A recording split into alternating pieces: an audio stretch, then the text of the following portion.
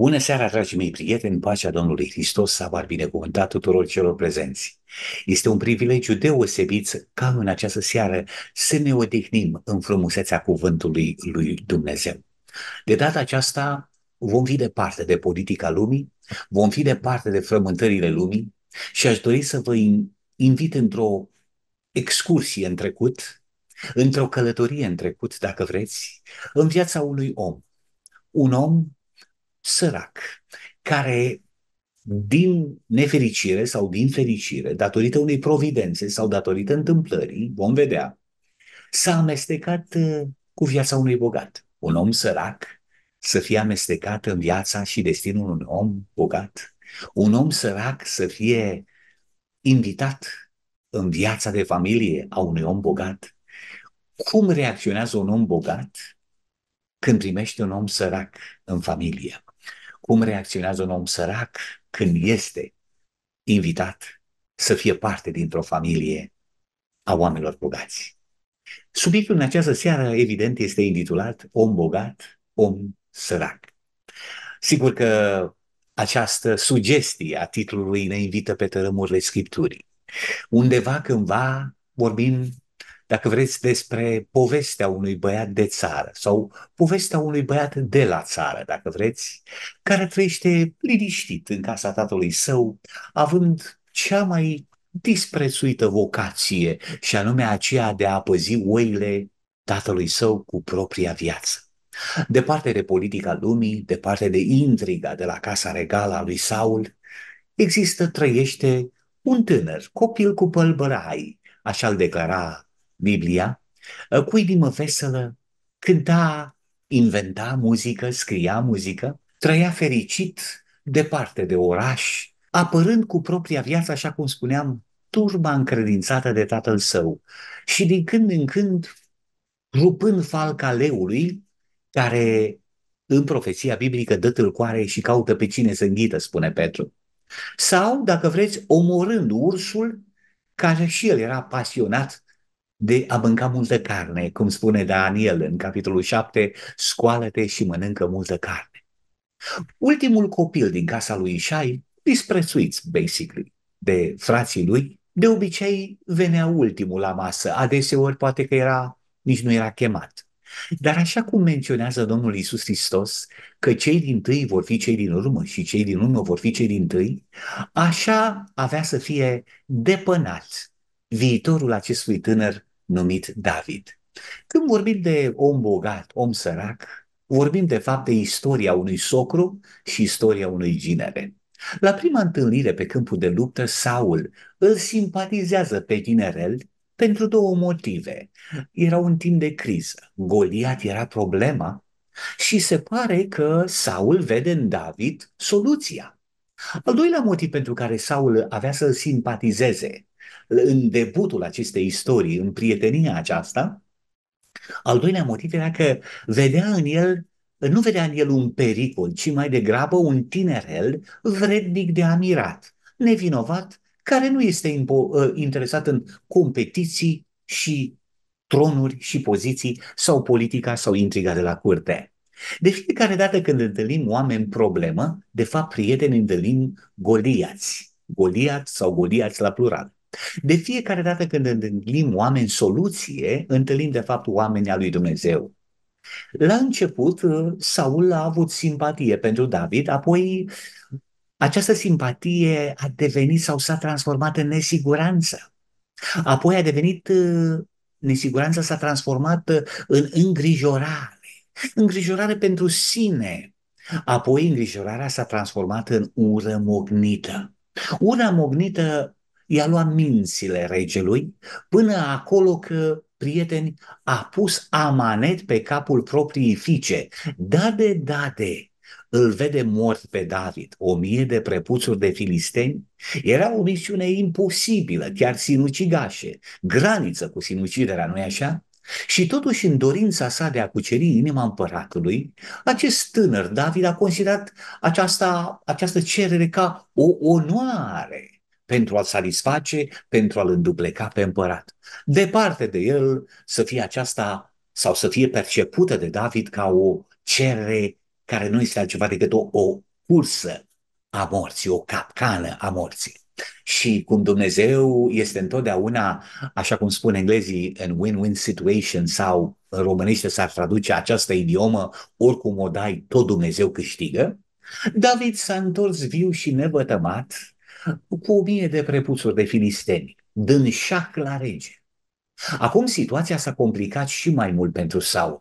Era convins că Dumnezeu proteja pe David, era convins că poporul uh, auzise de această faptă nebunească a lui David, videjească dacă vreți, era convins Saul de faptul că acum nu are de a face cu un om obișnuit și că, din nefericire, punând amanet pe fica sa Mical, va trebui să-i devină socru persoanei de care era frică, în fața căruia se simțea nesigur și să-l mai poftească și la casa regală. Omul bogat invită pe omul sărac, care nu are sânge albastru, să facă parte din familia, din intriga, din dinamica vieții regelui. Cu cât devenea mai disperat, omul bogat devenea mai sărac. David omorâse pe Goliat, dar nu și spiritul lui Goliat care locuia în Saul. De aici începe, de fapt, prieten, tirania socrului împotriva ginerului. Cu ginere sau fără ginere, aceasta avea să fie întrebarea de acum înainte. Saul o folosise pe Mical, pe propria lui fică, ca o momeală pentru David, acum tot Saul o folosește pe Mical ca pe un obiect de vânzare pentru a înfinge de fapt un pumnal emoțional în inima lui David. O dă altui bărbat, împotriva practic tuturor regulilor morale. Ia pe fica sa și o dă altuia. De aici începe vânătoarea lui David sau vânătoarea după David. Omul bogat chinuie, torturează, aleargă, vânează după omul sărac. Socrul dorește moartea ginerului. Deși aceasta la prima vedere pare doar o ceartă de familie, cearta aceasta de la casa regală sau ura lui, da, lui Saul împotriva lui David avea să contamineze, să influențeze starea națiunii și viitorul acesteia. Alergat și hăituit de Saul, credința lui David strălucește mai mult și mai mult. De fapt, credința, dragii mei, în genere, ca principiu, excelează în intensitate atunci când este persecutată. Așa că David, cei mai frumoși ani al lui David, cei mai credincioși ani al lui David, sunt raportați în prima parte a vieții sale, când își petrecea viața sau, dacă vreți, cartea lui de vizită era anonimul sărac din, ca, din casa lui Ișai la casa bogatului sau la casa socrului Saul. Din nefericire, în tot acest proces de vânătoare, Saul coboară spiritual în timp ce David urcă spiritual. Momentul terminus, totuși, este momentul în care Saul doarme exact în peștera unde David era ascuns. Acolo s-a probat caracterul tânărului David. Omul care adunase sau tăiase sau omorâse o mie de filisteni și adusese dovada acestora la picioarele lui Saul, este același om curajos care acum tremură să taie colțul hainei acestuia. Aici vorbim de sensibilitate de caracter, aici vorbim de oameni care cu adevărat, dragii mei prieteni, se tem de Dumnezeu, oameni puternici, dar care nu-și folosesc puterea pentru că au caracter, oameni virtuoși care nu se folosesc de influența lor pentru că iubesc pe Dumnezeu și au o onestitate și au o etică comportamentală uh, superbă, fără cusuri. Aici vorbim de un David, a cărui caracter este dorit de mai toată lumea. Un om care are la dispoziția lui posibilitatea de a neutraliza, termina un capitol grozav, întunecat din istoria lui. O, o șansă în care David se poate răzbuna pentru toate nopțile pierdute, pentru toată hăituiala, pentru faptul că a pierdut pe Mical. David este persoana care alege să-L lase pe Dumnezeu Răzbunarea este a Domnului, spune cuvântul său. Biblia spune că îi bătea inima cu putere. Sfatul general a celor consacrați, bărbații lui David, viteji puternici, i-au spus, uite, astăzi Domnul le-a dat pe vrăjmașul tău în mâna ta. Acum ai șansa ta să-l omori, pentru că providențial Dumnezeu ți l-a dat în mână. E adevărat că oamenii lui David îl iubeau pe el. E adevărat că oamenii lui David spuneau că Dumnezeu ți l-a dat în mână. Întrebarea care rămâne, prieten, pentru această seară, oare Dumnezeu care l-a dat în mână pe Saul, lui David, i l-a dat ca să-l omoare pe Saul sau să-i testeze caracterul lui David? Câți bani face pielea lui David? Câți bani face caracterul lui David? Dragii mei, eu cred că Dumnezeu știa în anticipație că acest om tânăr, un bărbat în toată puterea, care cânta la harfa celor zece porunci, care îmblânzea spiritul lui sau din când în când, care iubea pe Domnul cu toată puterea și cu toată inima lui. Acest David n-avea să fie un coward, un laș, un om care să omoare pe la spate ca și Cain. Nu. No. Dumnezeu dorea ca să testeze caracterul acestui tânăr David. Îi bătea inima cu putere. Știți de ce îi bătea inima cu putere? Pentru că avea conștiință. Oamenii care nu mai au conștiință nu mai au nici inima. Pierd tot uh, instinctul uman. Nu există nimic uman în bestia care ia cu asalt și preia frâiele minții, conștiinței și sufletului nostru. De câte ori în viața noastră, față în față cu dușmanii, oamenii cu care ne-am certat, oamenii pe care îi urâm, de câte ori ne-au fost dați în mână, gata să-i omorâm, să exterminăm, să ne răzbunăm pe ei într-o formă civilizată, nu mai cu parul, cu sabia, dar cu o vorbă, o vorbă. Poți să neutralizezi, să le neutralizezi dușmanul. Cu o vorbă, prieten, poți să înfii un cuțit în inima persoanei pe care o urăsc. Vorba, limba, cusurul verbal e puternic. O limbă mică, un mădular așa de mic, spune cuvântul, poate să stârnească un foc atât de mare. Un foc așa de mare care poate să ardă sau în care poate să ardă dușmanul meu. De câte ori ne-am fost și noi puși la probă când dușmanii ne-au fost dați în mână, gata pentru mazilire, gata pentru omor. De câte ori am făcut ca David, ne-a tremurat inima noi? Sau de câte ori ne-am zâmbit în barba și am zis, gata, îl am în mână să vezi ce-i fac? Lecții de viață, simple. Astea sunt povești pentru copii. Dar nu uitați, sunt povești pentru copii mari. Cum interacționăm, cum ne comportăm, ce facem noi în situații terțe când dușmanii care ne-au făcut atâta rău ne sunt puși la dispoziție pentru a le curma viața, cariera, numele, reputația, familia, bogăția, toată prosperitatea și binele din lume. Cum reacționăm noi? Lecția lui David e o lecție pentru copii, dar pentru copii mari. Copii mari ca noi. De aceea, Biblia spune că îi bătea inima cu putere. Și în timp ce galeria de la stadionul Rapid striga, David, o omoară uite ce l-a dat Dumnezeu în mână, providențial, providența lui Dumnezeu. Da, providența lui Dumnezeu i l-a dat în mână pe dușmanul de moarte. Ginele îl are în mână pe socru. E la o mutare ca să-l facă mat. Șah îi dăduse de când a adus prepuțurile de filisteni. Dar nu i-a dat mat. Și ginerele, zice, e unsul Domnului. Bun, rău, așa cum e, nebun. Domnul știe câte zile i-a dat pe pământul acesta. Sfatul general era omoară Astăzi Domnul dă pe frășmașul tău în mâna ta. Da, adevărat, mi l-a dat în mână. Dar ce fac eu cu privilegiul și oportunitatea aceasta?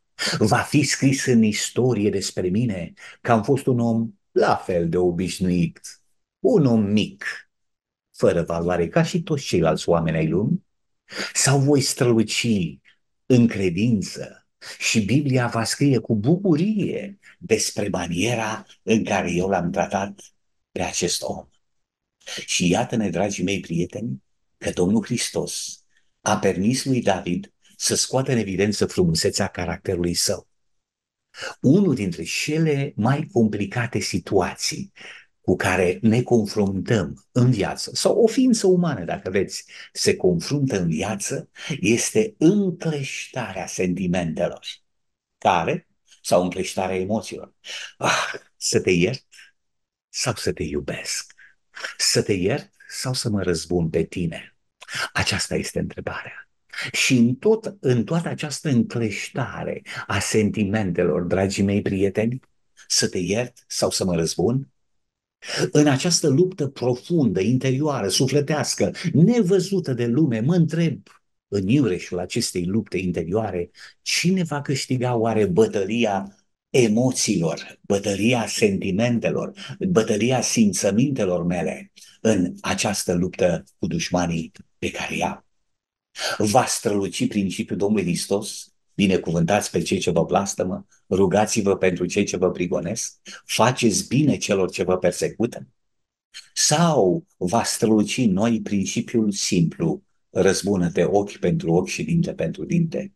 David, în fundul unei peșteri, și omul care este coșmarul vieții lui Soclu în mâinile lui.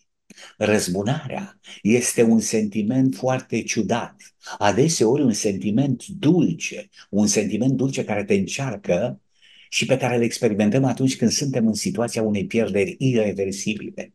Ce va face David cu această situație? Ce va face uh, Dumnezeu cu David după ce el va cădea?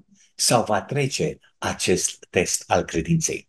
Chiar mi-ar place o dezbatere pe platformă Chiar mi-ar place o dezbatere pe platformă în care dumneavoastră să vă exprimați punctul de vedere dacă situația în care Saul se duce să doarmă în peștera respectivă a fost o situație accidentală sau providențială.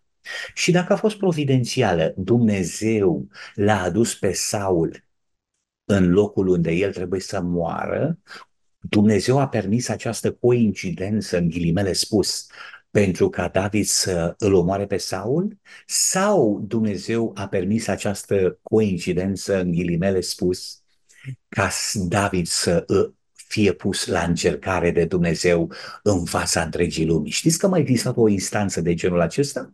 Instanța cu Moise, poporul răsfrătit împotriva lui Dumnezeu, Dumnezeu supărat pe popor, are o discuție Domnul Iisus cu Moise în culise și spune, fii atent, o sunt pregătit, am lepădat poporul ăsta, dar pe tine te voi pune în cartea vieții, gata, numai tu ești scris, păști ai lepăt.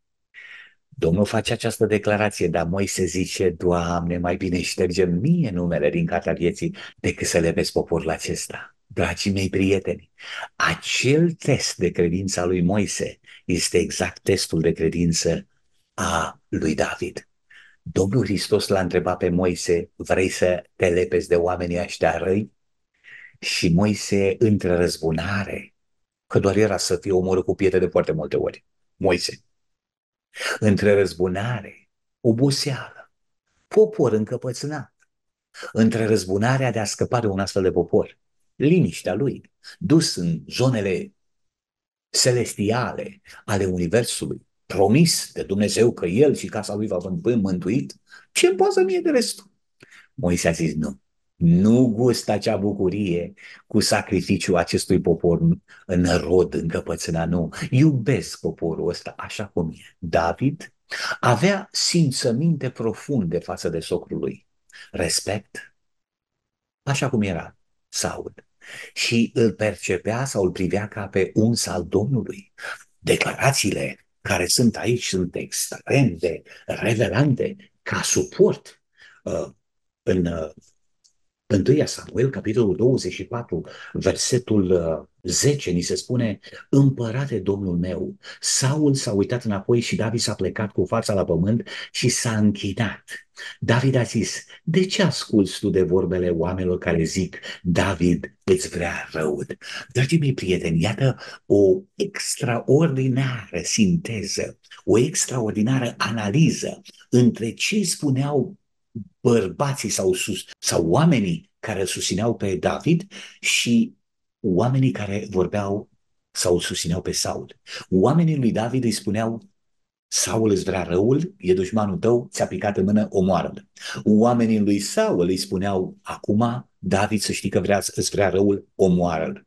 Ei, unul, Saul, socru, ascultă de oamenii lui, David îmi vrea răul.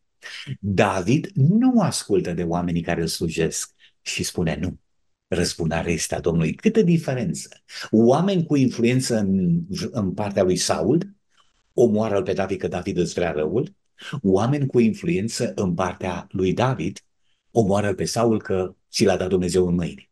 David și Saul au atitudini diferite față de influența sfatului sau față de sfatul pe care îl primesc de, îl primesc de la suporterilor. De ce? Pentru că relația între David și Dumnezeu era diferită decât relația între Saul și Dumnezeu. Saul este influențat de oameni pentru că relația lui cu Dumnezeu era zero. David nu se lasă înduplecat și influențat de oameni, pentru că relația lui David cu Dumnezeu și cu Domnul Isus era absolută. Cuvântul lui Dumnezeu, teama de Dumnezeu, era exponențial superioară sfatului omenesc. Iată diferența. 1. 2. Maniera în care David vorbește cu excelență, cu respect, față de domnia sa regele. Arată clar că David era și un tânăr cu maniere, un tânăr cu educație. Nu era un barbar. Adeseori astăzi, în vremea noastră, un păstor din biserică sau un cioban de la oi este perceput ca fiind un om retardat, un tip care nu i-a plăcut munca și care s-a dus să ie, și el să mănânce o franzeluță ieftină pe aici pe acolo. Dragii mei, or fi și în ăia. Dar David rămâne exemplul unui păstor care își dă viața pentru oi, își pune propria lui viață în pericol.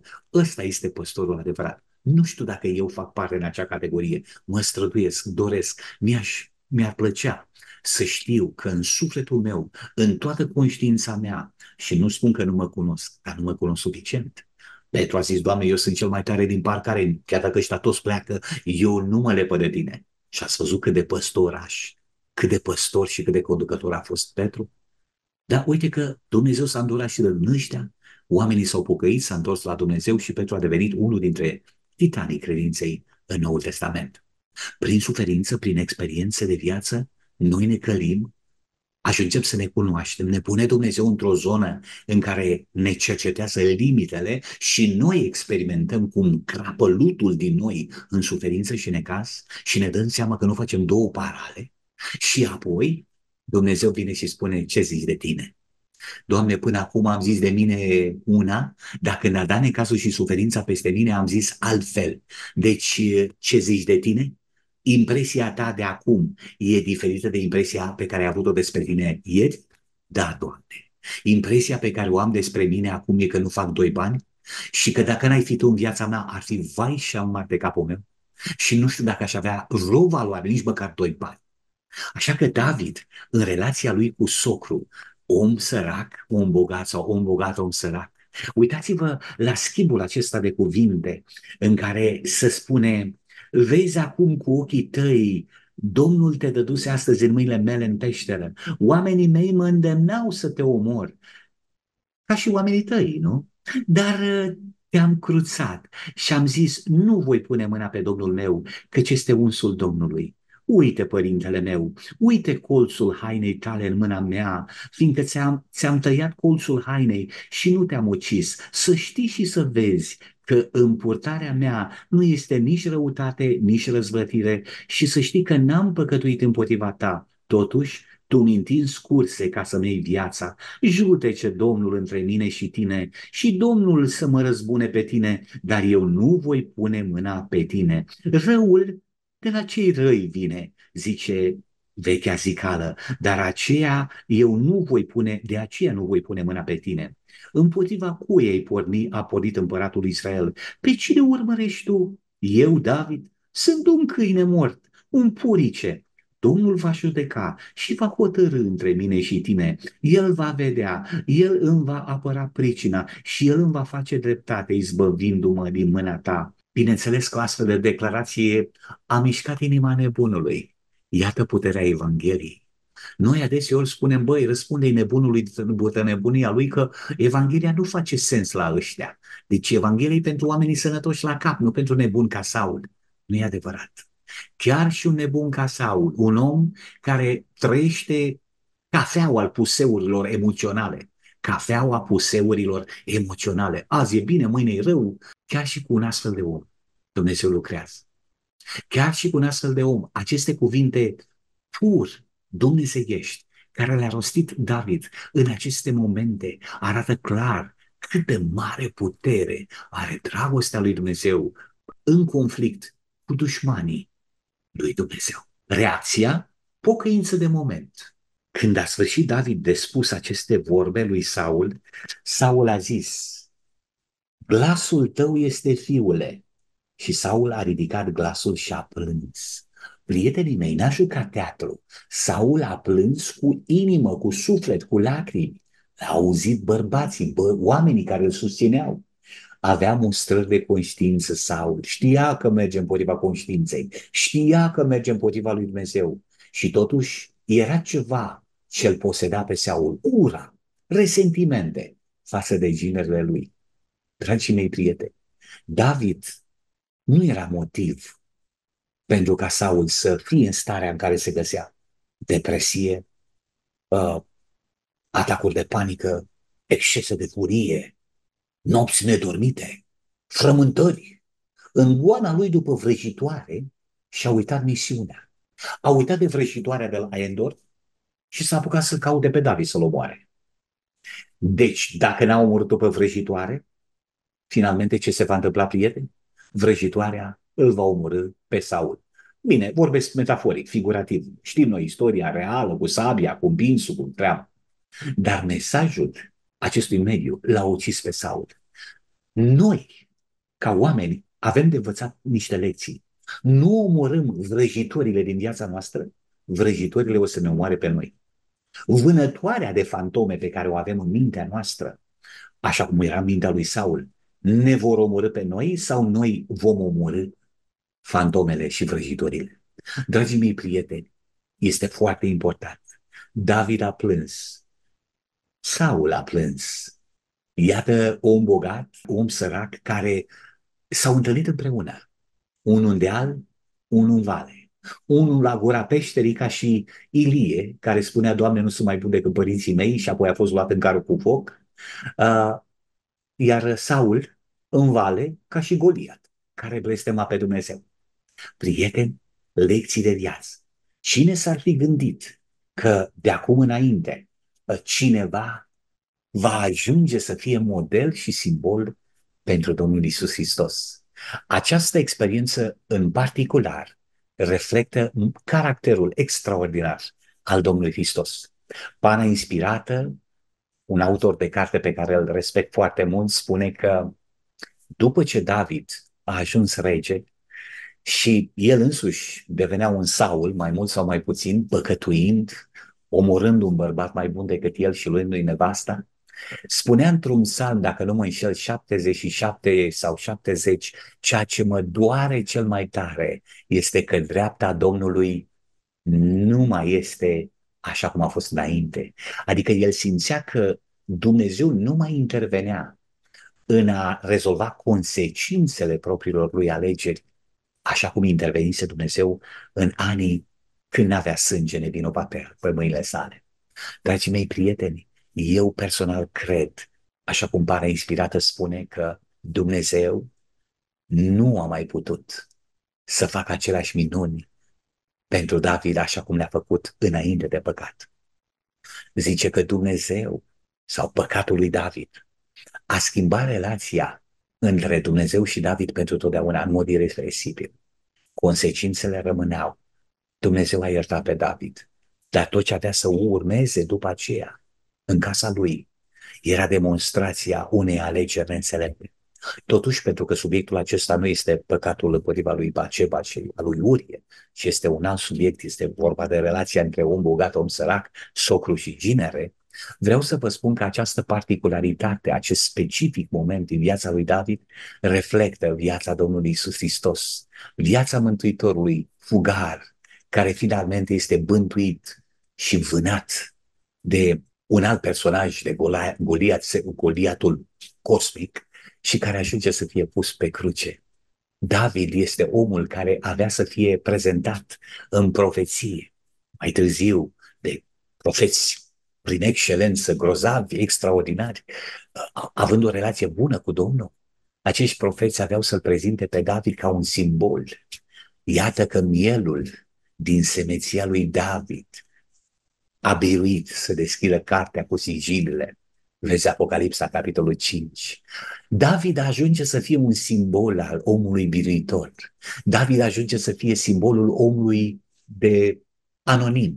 Omului luat de la, din spatele oilor, din dărătul oilor și pus ca să simbolizeze viitoarea împărăție veșnică a lui Dumnezeu, împărăția Domnului Hristos. Ce frumos e că noi, ca și oameni, în fiecare zi avem șansa să facem ca numele noastre să strălucească ca un simbol al împărăției lui Dumnezeu sau luând această ocazie, abuzând momentul în care dușmanii ne, ca, ne cad în mână, să-i omorâm, să-i distrugem, să-i anihilăm, arătând de fapt cu degetul către propria noastră ființă și propriul nostru caracter de nimic. Sau nu de nimic, dar caracter ieftin, ieftin. Când de fapt aurul curățit prin foc este credința care ne face să fim deosebiți. Haina albă a Domnului Hristos care nu poartă pe ea urmele răzbunării este caracterul care definește că noi într-adevăr reprezentăm împărăția lui Dumnezeu pe pământ și apoi arifia pentru ochi, Duhul Sfânt care ne face să avem o chipzuință matură în decizii de criză, în momente de criză, în care deciziile sunt fundamentale. Așa că este, depinde de noi astăzi, dacă jucăm rolul omului bogat sau omului sărac. Depinde de noi dacă vom fi socrul nenorocit, bântuit de vrăjitoarea de la Endor, sau ginerele, umil, respectos, temător de Dumnezeu, Davidul, care întotdeauna va reprezenta caracterul Mântuitorului. Răzbunarea este a Domnului. Ce fac eu, ce faci tu, ce facem noi în, circumstan- în circumstanțe extreme, când dușmanii ne pică în mână, va trăda de fapt calitatea caracterului pe care îl avem.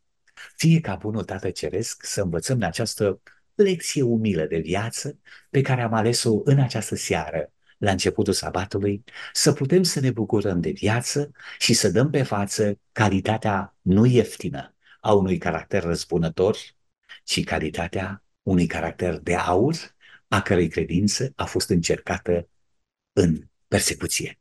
Credința lui David, credința ta, credința mea, excelează atunci când suntem persecutați și luminează, strălucește pentru veșnicie atunci când dușmanii ne sunt puși la dispoziție pentru a-i elimina, extermina, învinge, cum vreți să-i spuneți, atunci caracterul nostru poate să strălucească sau poate să pălească.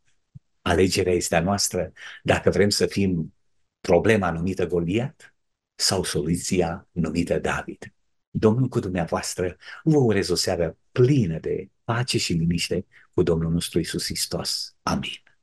Să ne rugăm. Iubitule Tată din ceruri, îți mulțumim pentru har, pentru milă, îți mulțumim pentru această seară și te rugăm din toată inima noastră să ne trăiești harul iertării tale. Dă-ne înțelepciunea și maturitatea caracterului dumnezeiesc ca în interacțiune cu dușmanii noștri, în special atunci când sunt situații rare în viață, când ne simțim puternici și ne simțim că avem toate cărțile în mână ca să putem învinge pe dușman, să acționăm așa cum a acționat David, așa cum a acționat Domnul Hristos, care a spus, crezi că n-aș putea să cer tatălui meu mai mult de 12 legiuni de îngeri ca să mă apere?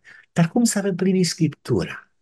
Ajută-ne, Doamne, să trăim și noi ca Domnul Hristos, să luăm învățătură de la acest tânăr David, un băiețel cu păr bălai, care era la îndărătul oilor, nebăgat în seamă, nedus la școli extraordinare, la universități cu doctorate, Davidul de la oi ajunge regele lui Israel și simbolul împărăției Domnului Hristos. Iubite Tată, în numele lui Isus, îți mulțumim că în această seară ne-ai copleșit cu dragostea ta, cu iubirea ta și ne-ai dat șansa de a face parte din soluție și nu din problemă. Ajută-ne ca să alegem înțelept, așa cum dorești tu, ca să trecem examenul și testul final al vieții noastre de credință, în numele lui Isus. Amin.